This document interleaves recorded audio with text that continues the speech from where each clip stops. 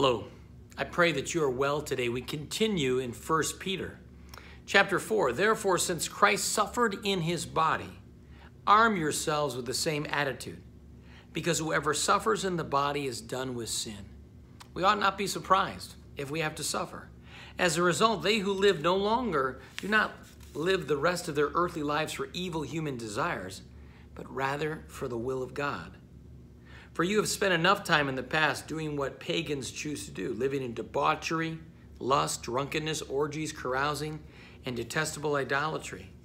They are surprised that you do not join them in their reckless, wild living, and they heap abuse on you. In other words, when people see the difference, they don't appreciate it and heap abuse. But they will have to give an account for him who is able to judge the living and the dead. For this reason, the gospel is preached even to those who are now dead, that they might be just judged according to human standards in regard to the body, but live according to God in regard to the spirit. Verse 7 The end of all things is near. Therefore, be alert and of sober mind that you may pray. The end of all things.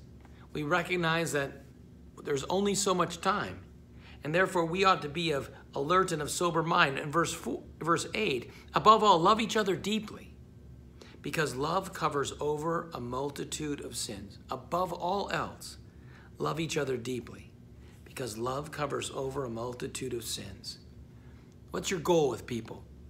Above all else, love them deeply because love covers over a multitude of sins. There are things that go wrong, words that are said, actions that are taken, things that are done, things that are not done.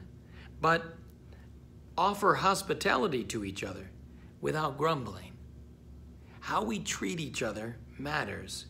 Each of you should use whatever gift you've received to serve others as faithful stewards of God's grace in its various forms. Each of you should use whatever gift you've received to serve others as faithful stewards of God's grace in its various forms. What gift have you been given? Are you using it? If anyone speaks, they should do it as one who speaks the very words of God. In other words, if you speak, speak the very words of God. If anyone serves, he should do with all the strength that God provides, so that in all things God may be praised through Jesus Christ. To him be glory and power forever and ever. Each of you, use whatever gift God has given you to serve others as faithful stewards. You and I have gifts. But our gifts are not centered on us, they are centered on other people. They are other centered. And God gives us love that we might be able to let love cover over a multitude of sins. Sometimes we have to speak and have things addressed to speak the truth in love. And other times we just simply give it to God and let love cover over. I pray God would give us wisdom to know how to do it. When do we let it go?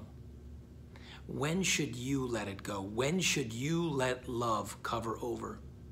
When should you use the gifts that God has given? Please pray with me. Lord God, we pray.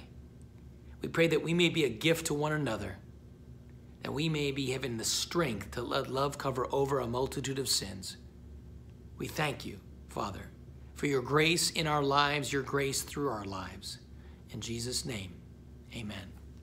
I invite you, if you are able to help, we are still collecting glasses, size 5 diapers, household goods, food, furniture, things that we can help other people with. We'd be happy to receive them and give them to others. God's grace to you. God bless you today.